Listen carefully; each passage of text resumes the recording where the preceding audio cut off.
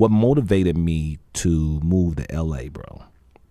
This was the last straw, and I'm gonna say the name Lil Rel. Lil Rel. I saw him on Jimmy Kimmel. Okay. Okay. I saw Jimmy. I saw him on Jimmy Kimmel, and Jimmy Kimmel asked him a question like, "Yo, what was your first movie like experience like? You know, because they was talking about the movie Get Out and Uncle Drew he was doing. It's like, man, what was your first movie like? And he said, man, I, uh, R. Kelly trapped in the closet, and I was like, whoa. Now here I am. I'm I'm sitting up in my seat at home because I'm thinking I'm about to get okay. I'm about to get the shout out on Jimmy Kimmel, you know, because I put Lil Rel in his very first movie after three months he been doing comedy. Mm-hmm.